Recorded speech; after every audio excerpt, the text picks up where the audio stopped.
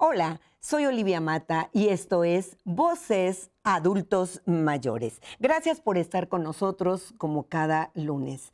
Estamos en el canal de Morelos y vamos a tener nuestro tema de hoy, las caídas en el adulto mayor. Y para este tema tan importante, conversaremos con el médico cirujano y geriatra, doctor Juan Ochoa, quien amablemente nos acompaña. No se despeguen, esto es Voces Adultos Mayores. En un momento empezamos.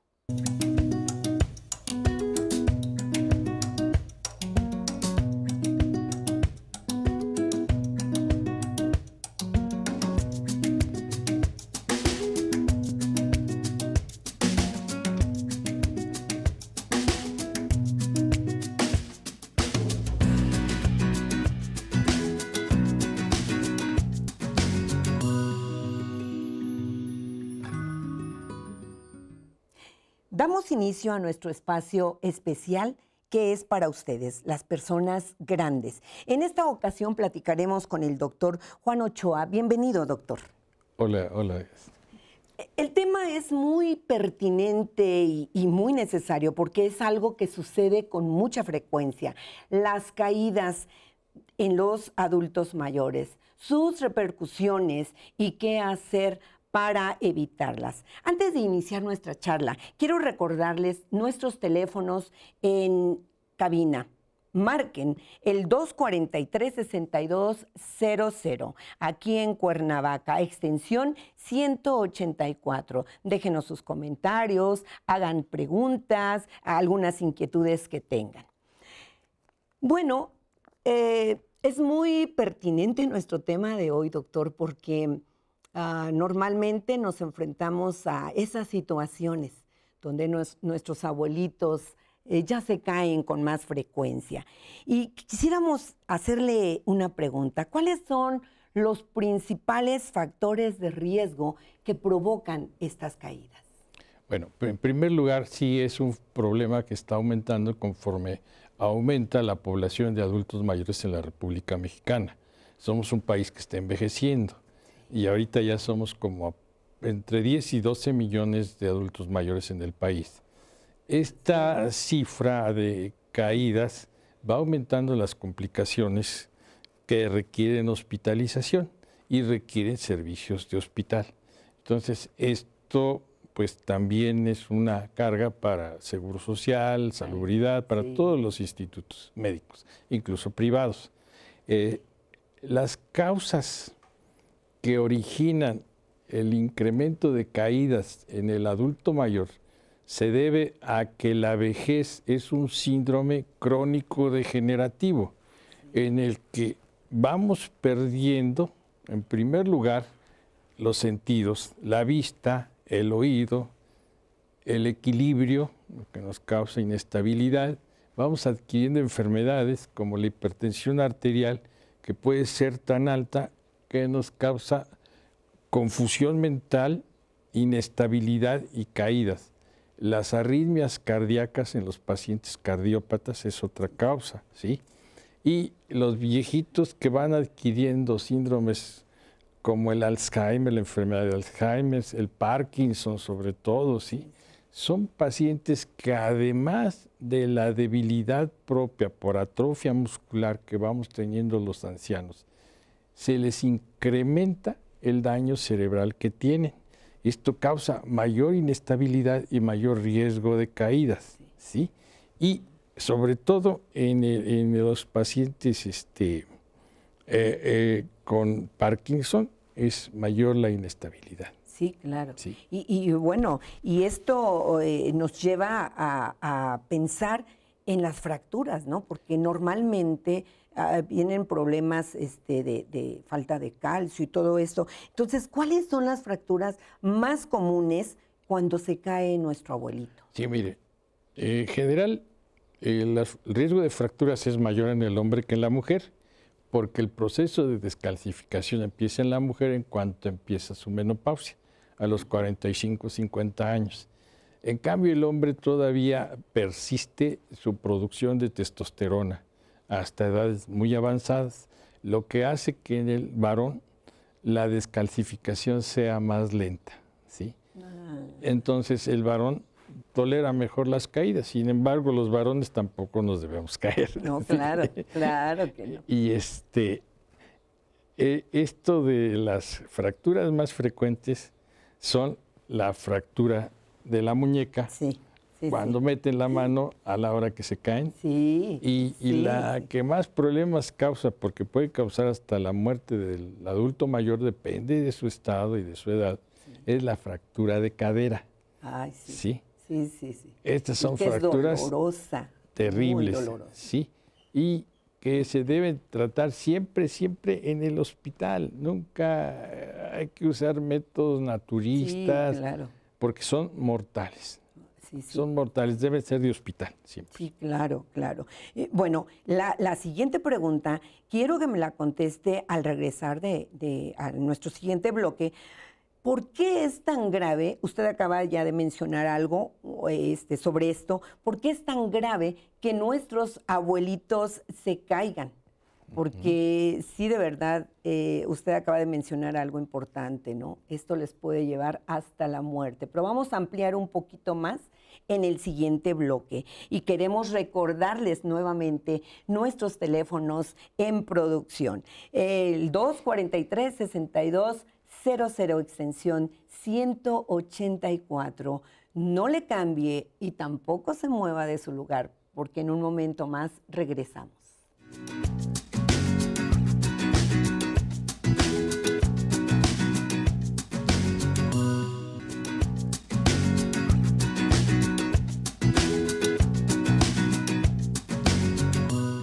Estamos nuevamente con ustedes y le invitamos a que entre a nuestra página de Facebook, Voz Es, o a Twitter como arroba voz-es. Déjenos sus comentarios, déjenos sus preguntas. Y seguimos con nuestra charla en Voces Adultos Mayores con el tema eh, las caídas en los adultos mayores. Ya vimos la problemática que, que hay- que existe de que nuestros abuelitos se caigan, pero quedábamos en esa parte eh, muy, muy necesaria. Eh, ¿Por qué es tan grave que nuestros abuelitos se caigan? es por las complicaciones que tiene, ¿sí? Porque, por ejemplo, la fractura los puede condenar a una inmovilidad y la inmovilidad nos puede causar desde neumonías, sí, y la propia fractura puede liberar trombos de sangre o de grasa que pueden causar embolias pulmonares altamente mortales. El 90%, 9 de cada 10 se mueren por embolia pulmonar. Es muy difícil de tratar la embolia grasosa. ¿sí? Casi el tratamiento es por mano de Dios. Todos los recursos son, casi no le hacen nada a la embolia grasosa. Y, y ahora viene otra situación, ¿no? Eh, cuando se cae nuestro abuelito, este, normalmente queremos hacer algo nosotros. ¿Qué hacer y qué no hacer cuando, cuando una persona ya mayor se cae? En primer lugar, hay que tratar de inmovilizarlo, pero viendo que respire y que no se ahogue con sus flemas ni con sus prótesis dentales. Hay que acomodarle con cuidado su cabecita, porque también puede tener fractura de columna cervical. Entonces, hay que, así como quedó, hay que asegurarle la vía respiratoria, subiéndole el maxilar nada más y dejando que fluyan las secreciones. Y llamar de inmediato, aquí en Cuernavaca eh, los de la Cruz Roja son los que reaccionan más pronto. ¿eh? Sí. Este, la ambulancia es la más noble y lo de la Cruz Roja es muy responsable porque llegan a los servicios de urgencia y este y en algunos servicios dicen, ¿eh? no, no me consta, pero dicen que a los pacientes los tienen ahí esperando y que a veces van muy graves y no los atienden, pero dicen, ¿no? Y en cambio, cuando llegan con los ambulantes, los paramédicos de la Cruz Roja, más rápido. se lo entregan al médico. Oye. ¿quién me lo va a Entra recibir? directo, Tú entra eres el responsable, tú me lo recibes, fírmame aquí. Entonces el médico ya recibe al paciente, se da la cuenta de la gravedad del, de- del caso. Y la ventaja de estos paramédicos es que ellos saben mover al paciente sin que una fractura acomodan los huesos de tal manera que no vayan a romper una arteria o un nervio importante. ¿sí? Entonces esa movilización la deben de hacer los paramédicos. Perfecto. ¿Sí? Bueno, queremos decirles que en pantalla van a, aparecer los teléfonos de la Cruz Roja. Tómelos muy en cuenta, ¿eh? es importantísimo lo que nos está explicando el doctor. Pero hay algunos casos, doctor, en los que no se puede enyesar el paciente. Ya entró al con el médico, eh, si hay fractura, eh, depende de dónde sea. En algunas ocasiones no se puede enyesar. ¿Qué hacer en esos casos? ¿O cómo tenemos nosotros como familia, eh, inclusive los médicos, cómo se tiene que reaccionar?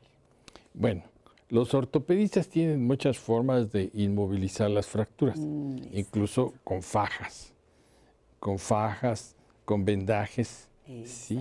y con este este, camas especiales donde las habrán visto hasta en las películas donde está el paciente con su pierna estirada y con una pesa del otro lado, donde le inmovilizan la pierna y en esa cama enfermería lo puede mover. ¿sí? Eh, ahí sí son requisitos de tener cuidados de enfermería. ¿sí? La familia es muy difícil que lo cuide. ¿Y cuánto tiempo puede durar una fractura de esa manera en la que usted nos la está planteando? En un soldar, sobre todo en soldar. De dos a seis meses en un abuelito. Sí, sí. Depende del grado de fractura y, del sitio donde esté la fractura. Sí, sí, claro. Y generalmente ahorita ya todas las fracturas de la cabeza del fémur se pone la prótesis. Sí, sí los, ortopedistas ponen sus prótesis de inmediato y, les va bien a los abuelitos. ¿sí? Y este, los casos que usted dice que no se pueden operar, es, raro, pero son muy graves y, de mal pronóstico. E, exacto. E, enyesar, sobre todo, hablábamos de, la enyesada, ¿no? Y, bueno, ya escuchó usted, eh, hay que tener muchísimo cuidado con esas situaciones de fracturas porque sí, sí es una situación muy grave. Y, ahí viene la cuestión de, de la osteopenia y la osteoporosis. ¿Cómo afecta en esa recuperación? La osteopenia o la osteoporosis, doctor? Bueno, claro que la retrasa. Pero actualmente, bueno, contamos ya con este, sustancias que hacen que se forme hueso nuevo. Mm. Eh, es carito el tratamiento, pero existen los tratamientos y, este, y hacen que la fractura consolide más rápidamente. Sin embargo, preferimos prevenir que, lamentar. Exactamente. ¿Y qué tratamiento es del que usted nos está hablando, doctor? Aunque sea carito. ¿E-, ¿Es medicamento? Este, sí. Eh, ya es una... Es ¿Colágeno? no, es, es, directamente una paratormona. Ah. Sí, una, este, la, hormona paratiroides. Ah. Sí, que se inyecta eh, diario durante los meses que dura la recuperación. Sí. Ah. Y, este, y entonces eh, los ortopedistas ven este, eh, si es necesario aplicarla junto, claro, con su calcio, porque la hormona, la hormona es el ingeniero, pero el calcio son los ladrillos. Exacto. Ay, doctor, muchísimas gracias y, muy buen dato el que nos acaba de, comentar el doctor. Eh, bueno, vamos a nuestro siguiente corte. realmente estamos... Ah, muy, muy eh, expectantes de lo que el doctor nos está comentando, porque efectivamente nuestros abuelitos muy, muy común nos, muy comúnmente se nos caen nuestros abuelitos. No se retire, no se retire, volvemos en un rato.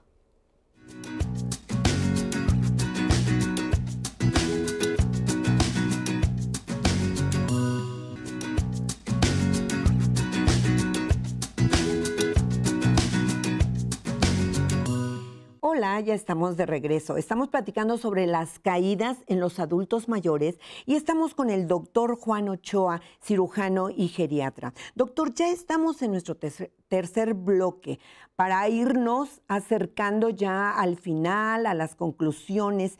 Ya vimos que las caídas, eh, si hay fractura, afectan mucho, no solo a nuestros abuelitos, sino también a su entorno, a, su familia, cercana. ¿Cuál sería la importancia entonces de capacitar a la familia en la prevención de caídas en el adulto mayor? A la familia, todos los que tenemos ancianos o vamos para ancianos, es muy importante capacitarnos. Aquí en Cuernavaca, el que, los que me han invitado son personas del DIF. ¿sí? Mm. Aquí en Cuernavaca y en Jutepec me han invitado, son algunas asociaciones que el DIF contrata para dar las pláticas. Y estas personas son las que me han invitado a dar las pláticas a, a estos grupos de personas que tienen abuelitos o se dedican a cuidar abuelitos o son tanatólogas aquí en Cuernavaca. ¿sí? Ah. Pero es el DIF, que vayan a su DIF, ah, a donde, que les quede cerca y ahí que pregunten por los cursos que se está dando el DIF. Ah, muy bien. ¿Y, algún tip de, de ese curso, doctor? Que nos pueda dar? Bueno, lo, lo, lo mayor es, mi consejo mayor es prepararnos para ser viejitos. Sobre todo ustedes, las mujeres, que se deben tratar esa osteopenia y esa osteoporosis, porque muchas veces no es una caída, son fracturas espontáneas. Al subir una escalera o bajar una banqueta, se fracturan los tobillos o se fracturan la cadera. Se llama fractura espontánea. O se fracturan las vértebras de la columna. ¿sí? Por la osteopenia o la osteoporosis. Simplemente caminando, doctor. Caminando, son espontáneas. Entonces más vale prevenir y por eso pues tienen que ir con su médico para que realmente les dé sus alendronatos, conservadores de hueso y su calcio. El calcio solo no sirve. Esa es una falacia. Tienen a las pobres señoras tomando calcio solito durante años y eso se ha demostrado que es una falacia. Ahorita ya el Seguro Social, el Seguro Popular, el ISTE, todas las instituciones están dando los alendronatos y están dando su calcio ¿sí? Ah. a los pacientes para que conserven bien su hueso. Ah, hay un estudio especial donde, donde sabemos el grado de, descalcificación que tenemos. La densitometría. Densitometría. La densitometría. Es lo mejor. Que después de la menopausia hay que empezársela a tomar. Ah, perfecto. Sobre todo las mujeres de, de una este, que son frágiles. Esas mujeres fragilitas, son familias de mujeres frágiles. Entonces, deben de tomarse su densitometría inmediatamente después de la menopausia. Pero, ¿qué pasa? Normalmente lo hacemos nosotras las mujeres. Yo me he encontrado este, eh, en, las, en los consultorios a mujeres haciéndose el estudio, pero los hombres no.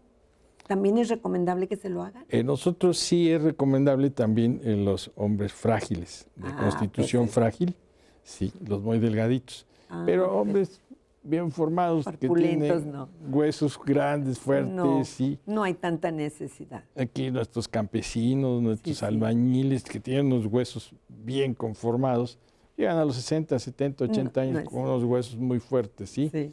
Entonces, pues ellos no, ellos se fracturarían si tuvieran algún problema nada más trabajando. Sí, sí, sí, no es tan necesario como en la mujer.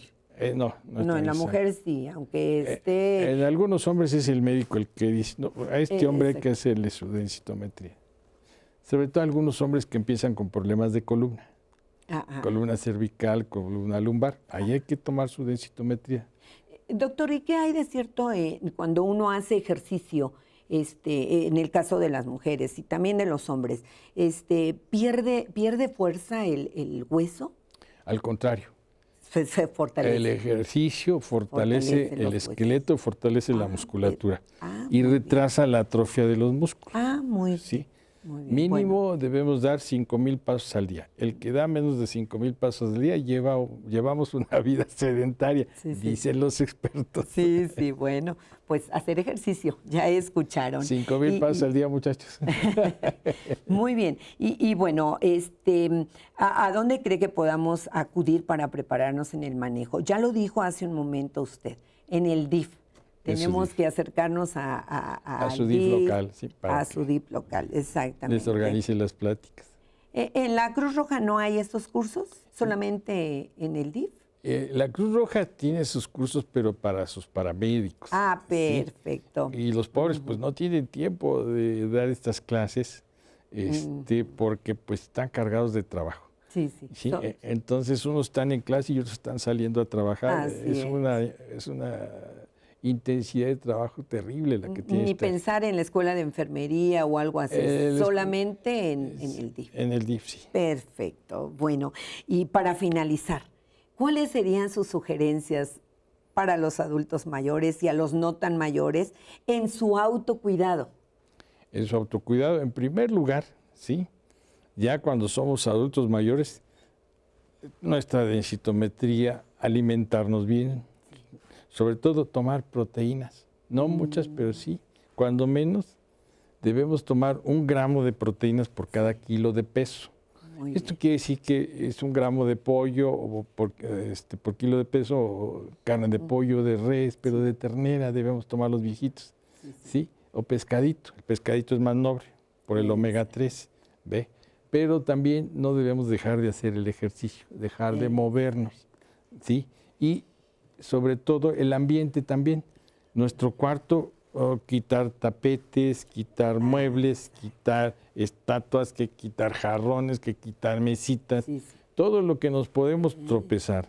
Sobre todo los adultos mayores que a medianoche nos paramos a orinar, ¿sí? Ese es un problema. Ahí hay un problema.